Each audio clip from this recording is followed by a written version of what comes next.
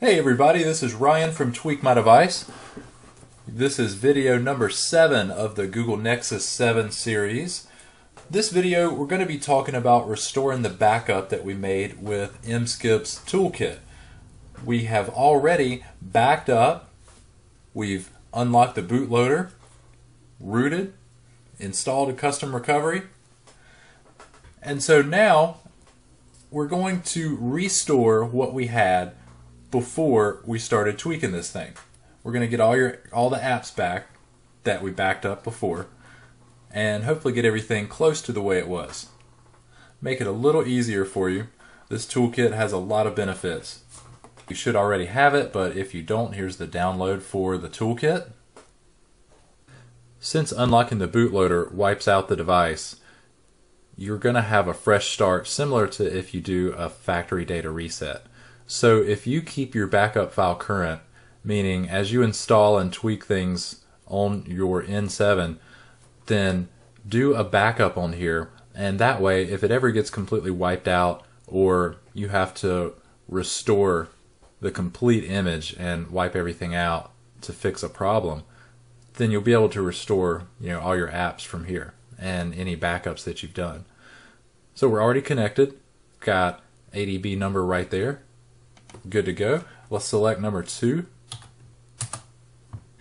Here's our restore options. We're going to choose number 10 because that's what we created up here. We did a number one and created a backup of all installed apps. Now we're going to restore all those apps. If you, if you backed up your SD card data, you can restore it with this option. Let's choose number 10 and we're going to restore apps from our backup file. Here's the name of our backup file. Instead of typing all of this, you can choose just the last six digits plus the .bak. Put a star in front of it.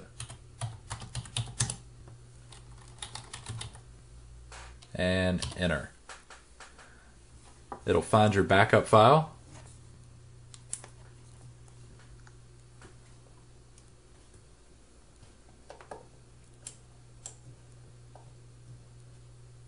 pay attention to your tablet, you're going to need to restore your data.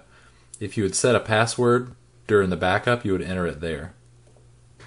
Once the restore is complete, you'll be returned to the main menu, and you can just go ahead and close out of that. We'll take a quick look into the tablet and see that it has restored all of my apps. Got Grand Theft Auto there, Inertia, Modern Combat, Linpack,